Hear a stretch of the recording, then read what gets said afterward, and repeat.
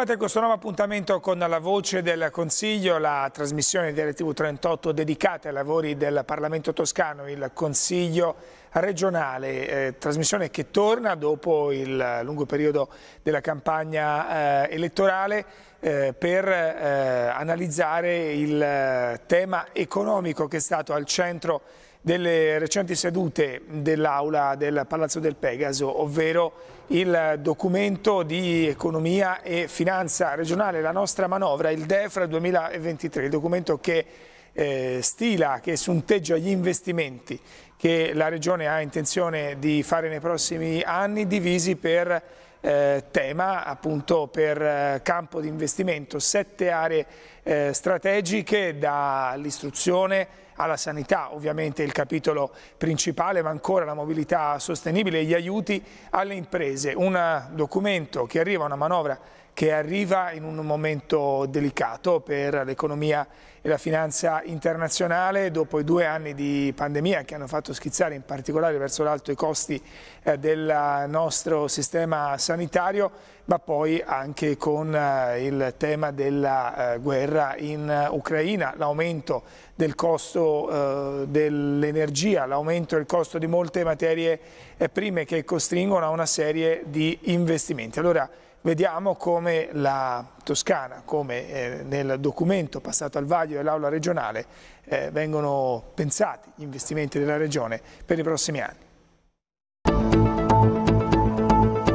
Il Consiglio regionale ha approvato con 21 voti a favore e 11 contrari il documento di economia e finanza regionale 2023. Ad illustrare in aula il DEFR è stato il presidente della Commissione Affari Istituzionali Giacomo Bugliani. Il documento si articola in 29 progetti suddivisi in 7 aree per uno stanziamento complessivo di 1 miliardo e 664 milioni, di cui 743 milioni destinati al 2023, 460 milioni al 2024 e altrettanti 460 milioni al 2025. Il maggiore capitolo di investimento è quello sanitario. Un testo che parte da un'analisi di un quadro economico estremamente complesso eh, se il prodotto interno lordo nel 2021 nonostante la pandemia si era attestato intorno al 6,6%, nel 2022 diversamente dalle previsioni che lo davano quasi al 5% si è fermato al 2,2%. Un dato importante che discende dalla crisi generale delle economie avanzate, dall'aumento delle tariffe dell'energia elettrica, dall'escalation militare della Russia e che quindi impone anche al governo della Regione Toscana un'attenta analisi delle strategie per il futuro. Dal punto di vista della fiducia nei confronti quindi del mercato e delle istituzioni da parte delle famiglie si è registrato un calo considerevole così come un calo significativo si è avuto da parte delle imprese soprattutto con riferimento a quelle che operano nel commercio al dettaglio.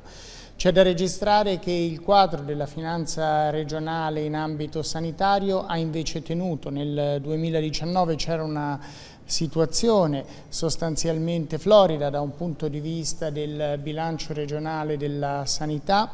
Nel 2020, data la pandemia e le maggiori risorse che si sono dovute investire, è stato necessario un importante intervento dello Stato, intervento che non c'è stato nel 2021 eh, e pertanto è stata la stessa Regione sul proprio bilancio a far fronte alle perdite e quindi alle maggiori spese che si sono dovute sostenere sul fronte sanitario per arrivare comunque ad una posizione che è attualmente in equilibrio. Permangono le politiche di investimento in alcuni settori strategici che si erano già volute intraprendere negli anni precedenti, soprattutto con riferimento agli immobili a livello regionale, con riferimento all'assetto idrogeologico, all'edilizia sanitaria o anche all'edilizia pubblica residenziale un piano che prevede uno stanziamento di risorse nel prossimo triennio di un miliardo e 600 milioni, di cui circa 750 milioni sul 2023 e oltre 600 milioni per quanto riguarda le annualità 2024 e 2025. I settori che maggiormente eh, beneficeranno di queste risorse per gli investimenti sono quelli collegati alla sanità ma anche e soprattutto quelli collegati al settore mobilità e infrastrutture. Sia da parte dei gruppi di maggioranza che di opposizione è stata sottolineata l'urgenza di programmare investimenti importanti nel capitolo energia anche con l'obiettivo di intervenire subito sul caro bollette. Abbiamo sostenuto il DEF, però abbiamo chiesto con forza di rivedere le linee strategiche. Per noi il primo punto di intervento deve essere la questione di carattere energetica. Servono risorse regionali da affiancare a quelle nazionali per elementi e per strumenti di produzione energetica, per abbattere i costi a cittadini e imprese. Serve discutere rispetto al tema sanitario. Noi siamo contrari, per esempio, al sistema di riforma dell'emergenza-urgenza che rischia di mortificare i volontari e di svilire la funzione dei medici professionisti e tutti gli operatori del sistema sanitario e siamo soprattutto per fare interventi rispetto all'approvvigionamento idrico degli invasi nel territorio di diffusi sia di sistema pubblico che per il sistema privato, quindi le risposte che dobbiamo dare rispetto alle tre grandi emergenze che comunque sono quella energetica, quella sanitaria e quella idrica devono trovare nel nostro documento di programmazione e di finanza dei riscontri con le risorse che accompagnino il piano regionale di sviluppo che deve essere approvato quanto prima. Questo DEFRE fondamentalmente è un riciclo, un'economia circolare, quello sì, di vecchi progetti che sono stati ripresentati, ammodernati ma che non hanno nessuna differenza strutturale con quello che c'era precedentemente. E ci sono delle emergenze in questo momento a partire da quella energetica che chiedono invece un cambio di approccio radicale che qui non vediamo nemmeno per quanto riguarda l'approccio ai finanziamenti e al bilancio.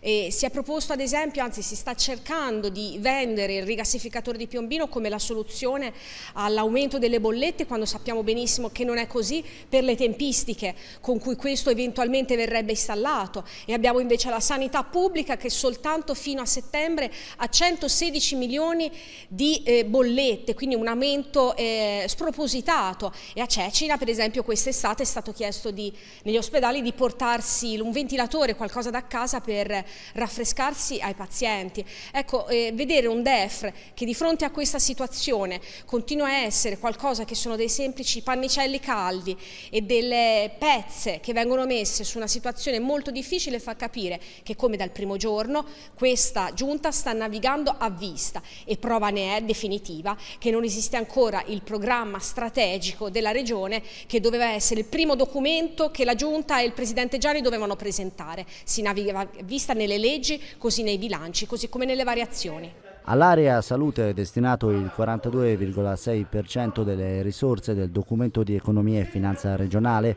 ma capitoli di spesa importante sono anche quelli per istruzione, inclusione e per infrastrutture e mobilità sostenibile, un punto quest'ultimo contestato dalle opposizioni. Un documento che ci lascia, a dire la verità, un po' perplessi, un po' perplessi sia per la metodologia con cui viene discusso in aula che per il merito. La metodologia è alquanto strana, vi spiego perché. Questo è un documento che le tempistiche dicevano doveva essere discusso a giugno e approvato a giugno, arriva a settembre e sinceramente ci aspettavamo che in questi tre mesi di ritardo qualcosa venisse fatto. In che senso? Purtroppo da tre mesi a questa parte è cambiato il mondo, non lo dico io, lo dicono chi sta fuori da questo palazzo, la crisi energetica è sempre più stringente, è sempre più preoccupante, le, le imprese, gli esercizi commerciali, gli artigiani lo denunciano tutti i giorni, ci aspettavamo che da parte del Presidente Gianni e della Giunta ci fosse una riflessione, cioè si prendessero questi tre mesi di colpevole ritardo per trasformarli in opportunità. Cioè abbiamo sbagliato, siamo in ritardo, ritardo, approfittiamone per ridiscutere nel merito il DEF cosa che non è stata fatta. Il documento arriva con tre mesi di ritardo, è lo stesso documento identico a giugno, come se niente fosse successo da giugno a oggi. Ed entro nel merito. È un documento che parla di possibile riacutizzarsi del fenomeno Covid e della crisi energetica dovuta alla guerra in Ucraina. Benissimo si fa una grande analisi del problema, si dipingono scenari macroeconomici del problema e non c'è una riga una di quello che ha intenzione di fare la Toscana tra il 2023 e il 2025 per fronteggiare queste due emergenze. si parla di risorse, ci sono 4 miliardi di, da investire, il 59% di queste risorse vengono, rispettando i progetti del PNRR, ci mancherebbe altro, vengono destinati alle nuove infrastrutture per la mobilità sostenibile un tema importante che nessuno lo nega, ma oggi sinceramente se uno fa la fotografia alla Toscana e all'Italia di oggi, noi non crediamo che con 4 miliardi di risorse a disposizione la Toscana debba investire il 60% in mobilità sostenibile. Ci sono altri temi da affrontare, ben più importanti della mobilità sostenibile. Faccio un esempio, si parla di eh, sostenere le imprese, si parla di aiuti alle imprese per far fronte alla crisi energetica. Ebbene, non c'è mezzo processo e tra il 2023 il 2020, anzi tra il 2024 e il 2025 si destinano 160 mila euro l'anno per progetti per attrarre nuovi investitori in Toscana. È una ridicolezza, è un'elemosina di fronte a un bilancio, di fronte a, a nuove risorse per 4 miliardi di euro, 160 mila euro destinati ad attrarre nuovi investimenti per le imprese. Per la lotta alla povertà delle famiglie toscane, per la lotta alla povertà si destinano 2 milioni quest'anno e mezzo milione di euro nei prossimi due anni, 220 mila euro all'anno, meno di mezzo milione. Cioè, noi pensiamo di fronteggiare la crisi economica e sociale con mezzo milione all'anno, quindi questo è un documento che non serve a niente. Quindi nel merito è un documento profondamente negativo, nel metodo con cui arriva in aula rimaniamo basiti perché pensavamo che vi fosse da parte della Giunta una riflessione politica su cosa è successo negli ultimi tre mesi. Novità poche, eh, si continua a perseguire vecchie politiche quando il mondo è radicalmente cambiato e siamo seriamente preoccupati perché siamo a un passo dalla stagflazione, un rischio sempre più grave. La stagflazione è quella situazione in cui sono presenti ondate inflattive, aumentano i costi dei prodotti, infatti si riducono i consumi anche dei beni di prima necessità e al tempo stesso c'è stagnazione economica, cioè non cresce il PIL. Di fronte a questa eh, situazione cosa sta facendo la Giunta? Io ho chiesto qual è la domanda da fare, che cosa sta proponendo per supportare le nostre famiglie, le nostre imprese. Io nel DEF non ho trovato praticamente nulla.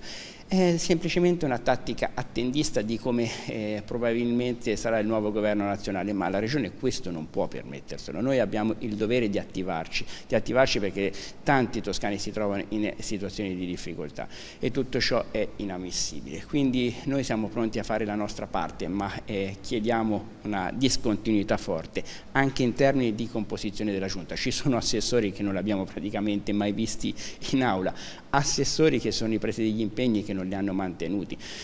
Non abbiamo ancora il programma regionale di sviluppo, non c'è il piano rifiuti, non c'è il piano acqua, non c'è il piano aria, ma cosa sta facendo la Giunta Giani? Due anni è praticamente di, di fermo e la Toscana non può restare ferma.